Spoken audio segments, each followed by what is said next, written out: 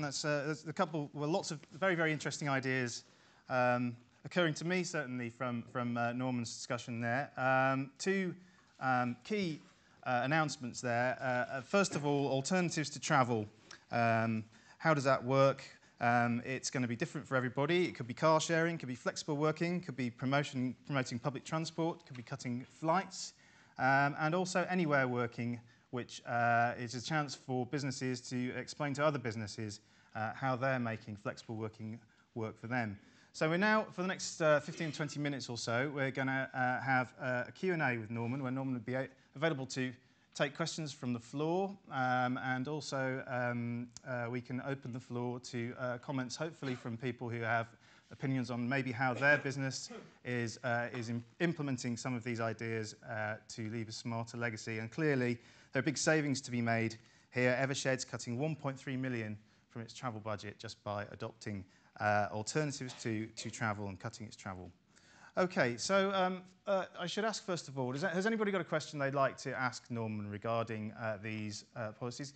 You, sir, over there on the, on the left. Could you uh, just say um, your name and the company you're from before you ask your question? Keith Warburton from VC Insight. Um, the Department for Justice reportedly spends £42 million on prisoner transport, some of which going by taxi. What plans do you have to recommend the installation of video conferencing in all prisons, remand facilities and the courts? Uh, well, the Ministry of Justice is doing some, it's not my department, as you'll appreciate, but it is doing some work on, um, on remote evidence uh, provision in, in court systems. So it has, has signed up to the concept of, uh, of joining other departments and looking to minimise travel. It does so because, um, I don't pretend it's uh, driven by environmental uh, agenda, but it does so because there is a, an operational benefit uh, in doing so. Um, the issue of prisoner travel um, is, is, uh, is not my particular baby, but I guess there is an issue about whether or not, uh, to what extent a prisoner has to be in a particular location at a particular time. But I agree with you that generally that the, uh, the opportunity to reduce travel um, in, in government departments, such as the Ministry of Justice, is significant, and I'll take that particular suggestion back to the MOJ. Okay, thank you, Keith. Um, anybody else have a question that I'd like to uh, put to Norman? Okay, uh, well, okay, I've got a question here that uh, I'd like to uh, chip in and then. Uh, you um, touched there on, on the Department of Justice, Norman, but I'd be interested to know how the government itself has been uh, using technology to benefit uh, and uh, from alternatives to travel, if you have any thoughts on, on its wider use in government. We've certainly been doing, well, some of it's quite low tech these days, but um, there's a great deal of, uh, of phone conferencing goes on We don't have to be in the same room at the same time. Uh, we've got video conferencing facilities now in, in uh, I think every department, and we use those. Um, I regularly give uh, remote speeches um, rather than having to take a train or, or, or anything to the north of England to give a, a speech to some collection of whatever it happens to be within my portfolio, um, I'll regularly record a speech now and send it up. And actually, that's perfectly acceptable to people, it seems, when they receive a, a speech in that way. And it means we don't have to travel up in large numbers, not just me, but the civil service entourage, it feels it has to be with me on every occasion, uh, also needn't travel up. So we can save money that way and save me time. And you know, quite frankly, you know, my, my day job, and I guess the job of many people in this room, is such that if you take half a day or, or three quarters of a day travelling somewhere to give a half an hour speech, that's not a good use of time. And okay, you can do work on the train, but actually how much better it is to go into a video recording studio, which we've got in the Department for Transport, record 20 minute speech, send it off remotely, and then get on with your work. Um, and that just seems to me to be a complete no-brainer. So there's quite a lot of that going on. We've also set a target in government for uh, reducing the number of flights. And uh, we were, we've got a 20% reduction in flights as, a, as an objective. That's partly about transferring to train, but it's also about saying, do we actually have to go somewhere? Do we have to go to this particular meeting, or can we deal with it in a different way? And you know, quite sometimes there's a need for a personal contact, but most times there isn't a necessity for that, and you can deal with matters in a different way. I mentioned the Department for Transport's um, uh, trial last um, autumn, uh, last August when we, we, we had a, a week when we encouraged people not to come in, as it were, and to work remotely. And actually that worked perfectly all right. I mean, we got uh, large numbers of people working either from home or from uh, outposts. We got outposts in Hastings, for example. uh, or indeed working from other government departments around the country, uh, working from remote hubs, and the idea that I think particularly attractive to me, that you have in, in, in kind of small towns, you can have a somebody running a, a, a, a hub which is shared by a number of different uh, uh, businesses who can come in and use the facilities there to connect up with London and so on. Seems to me to be entirely sensible. But there's a long way to go.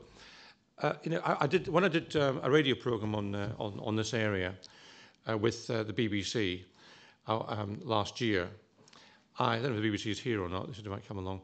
Um, they um, they said well, we're interested in this, and so the reporter came um, down the line to me and to interview me, and I said, by the way, where are you? She said, uh, I'm in I'm in London. I'm in Bush House. And I said, well, where where do you live? She said, Bristol. And I said, why have you come from Bristol to London to interview me remotely by radio. She said, because my producer told me I had to do that. So, you know, there's, there's, there's waste of money and, and waste of time right across. And uh, I just think if we can eliminate some of that and persuade people to actually think about their time as, as, a, as, a, as a cost uh, and to think, do, do I want to spend money traveling uh, or can I actually eliminate that and do something else? Once we start getting that mindset in, then I think we start making some progress. And actually, quite a lot of journeys which are made don't have to be made. That's the bottom line. Yes, very interesting, Norman. And I think um, I could just add to that. And I know for a fact some of my colleagues at the BBC do have, um, especially the ones who have to go on the radio early in the morning, uh, do have to, uh, uh, they have um, radio facilities in their, at their homes so that they don't um, uh, don't need to get up bed at the crack of dawn and, and jump in a cab into central London. So uh, that's one simple example. I'm, I'm interested to hear um, if any of the delegates here um, can add to that. Um, I want to hear some examples from you of how your organisations are applying these uh, principles. Uh, is it, is, does anybody have anything, uh, any ideas around alternatives to travel that they, that they think are interesting that they want to share with the room?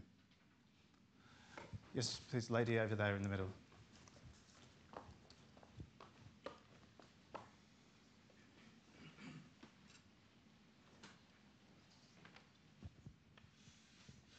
Thank you. Hi, my name is Elizabeth Marsh from the Internet Benchmarking Forum. Um, we're a small company of about 50 people, um, but we work very much remotely and we work through tools. Um, our intranet, we use things like Yammer, microblogging, um, Skype. And there's people in the company I've worked with for years who I've maybe met once or not met at all. And yet the sense of connection that's actually possible through a combination of different tools um, is is really quite amazing. So I think the possibilities are there.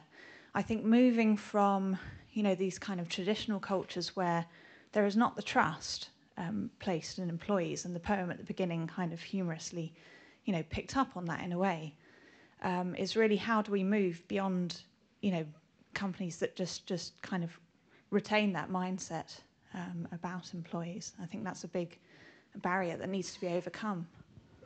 That's, uh, that's quite interesting, actually, um, that you say that using uh, a combination of technologies um, uh, gives you a, a, richer sense of engagement with, with other people. Because I think uh, we talked about this last night, actually. One of, one of the biggest obstacles, really, to, to using remote technologies is, I think, um, getting over that barrier of needing to be in a room with somebody um, and, and it's very interesting. Uh, people often look at one specific technology and say, well, yes, that's very good, but um, that's not going to um, work in, in, it works in one dimension, but not in every dimension. And so it's interesting to hear you say that you're using a variety of different ones and getting the similar kind of uh, uh, reaction from that.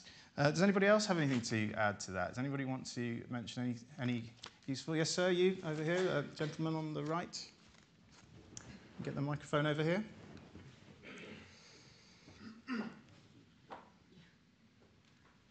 Uh, thank you. Um, Adrian Bell from Johnson Controls.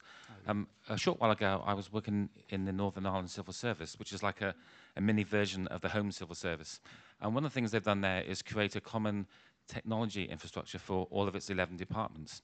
And we, we were encouraging staff to just go into their local uh, government office, no matter what department it was. Mm. So the, the, question, I guess, when we look at the bigger scale of the Home Civil Service is how easy is it for somebody to go into their local government office, which may be not their department, and work? The, the answer is not easy enough, if I'm perfectly frank with you, and we need to do far more of that. I- You know, from, from the point of view of the public, and indeed it should be the point of view of the government, we're one entity, and the resources we have are the buildings we have and the people we have. And really, the fact that one's got DCMS over the door and something else got Home Office over the door, just neither here nor there, really. Now, of course, there are certain security issues and, and, and, and so on, but apart from that, we ought to be far more flexible, it seems to me, in what we do. Um, we've, got, we've got buildings around the country. I said the Department for Transport in Hastings. That should be available not just to the DFT, in my view, but to other departments. Uh, other people have got departments in, in, in the Midlands or in the North. They equally should be available to all government departments.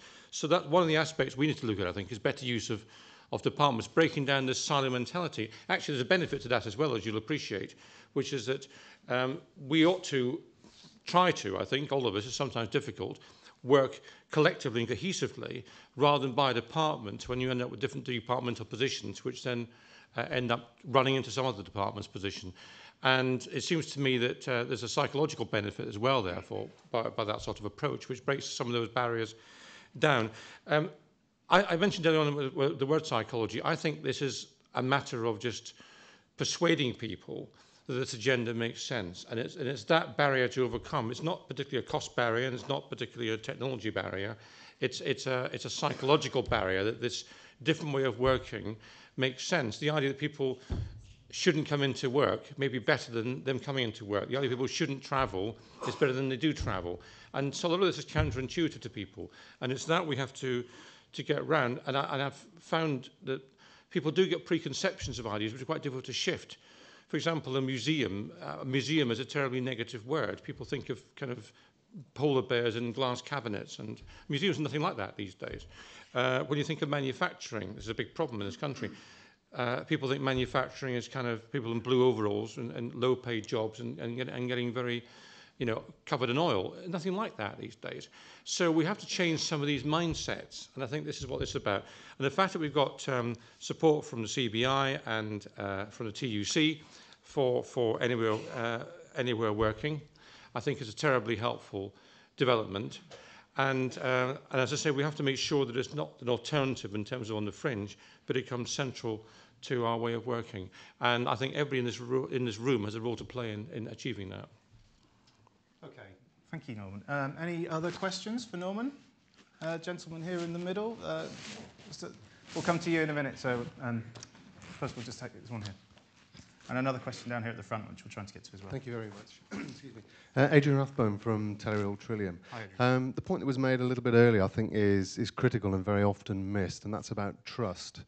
And what I think we're finding fundamentally is we can create the best environments in the world, uh, we can create the best infrastructures, but actually the issue is taking people along with you through that change management program.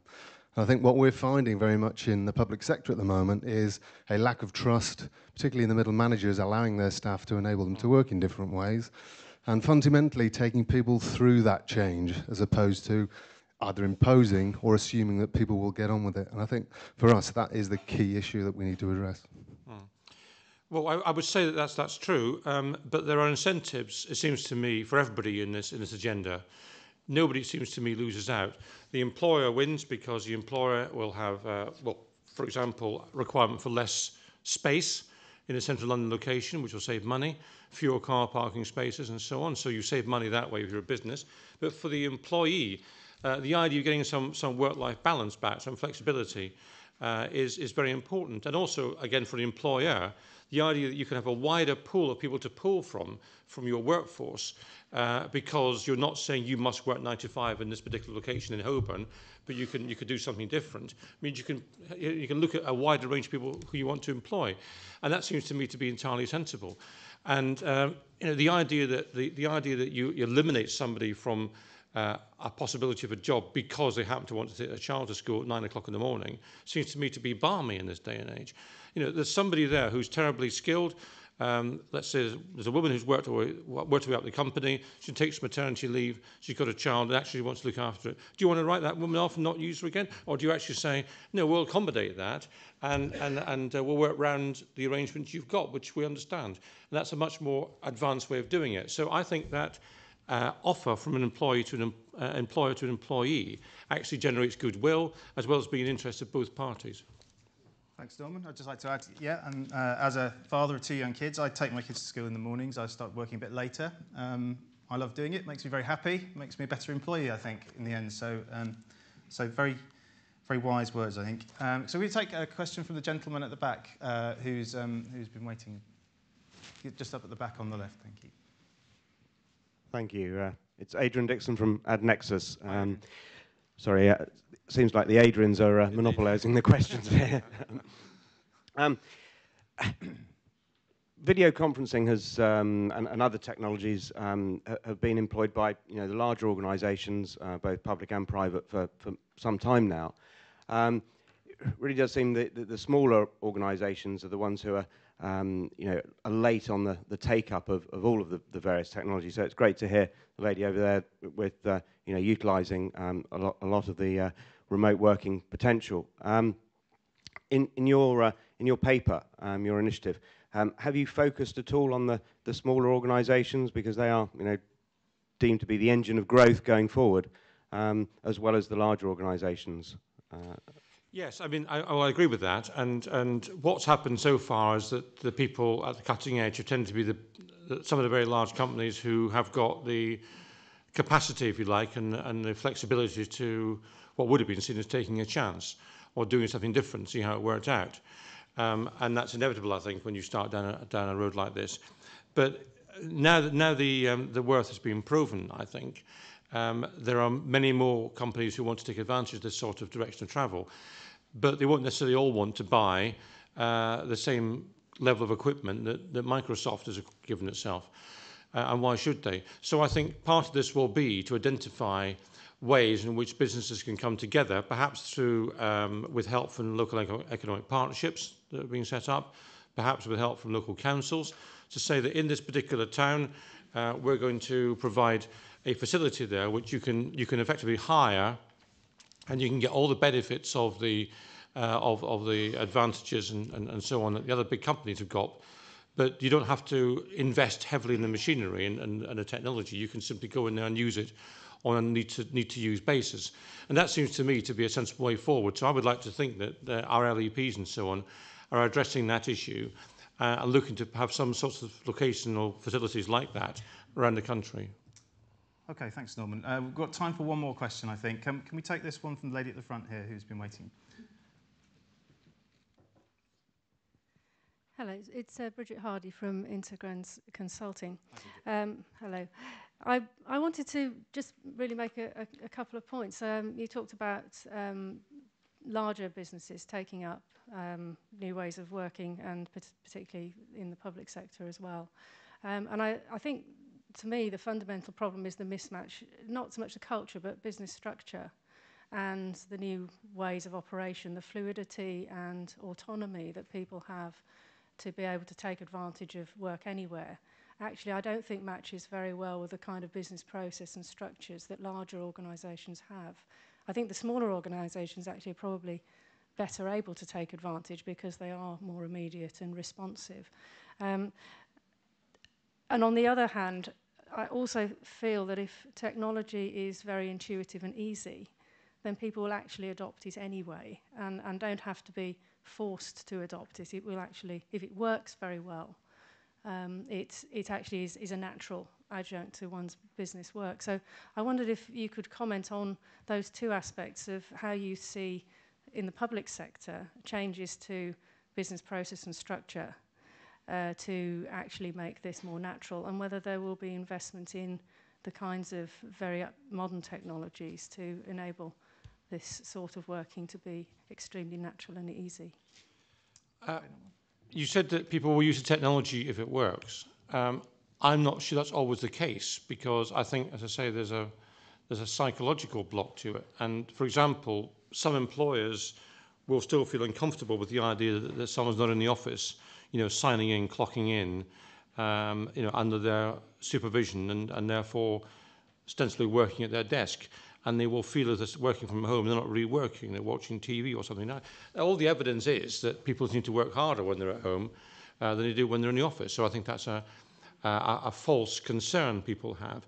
But I think it's that sort of barrier which is a problem rather than the technological barrier of what you can actually do with a piece of equipment. And it's that we have to persuade people that actually uh, there are wins both sides, as I mentioned a moment ago, from approaching things in a different way. Um, in terms of large organizations, you know, I think that good organizations, whatever their size, have the capacity to innovate and change quickly. Indeed, if they don't have the capacity to innovate, they don't last very long, it seems to me. They get fossilized uh, and uh, then they put themselves in a difficult position. So um, I'm not sure that I necessarily accept that big companies can't change quickly. Uh, what I would say is that when they do decide to change, uh, then they often have the resources and the wherewithal and the oomph to make a difference, um, a significant difference, and then to set an example which others happen to notice. So um, I'm not quite as pessimistic as you are, I think, about the size of the organisation being, being a, an obstacle. Okay, uh, I think we've come to the end of uh, our time for this uh, Q&A. So I'd just like to uh, say thank you very much to Norman for coming in today and talking to us. And uh, Norman, best of luck with the initiative. Okay, thank you, Norman.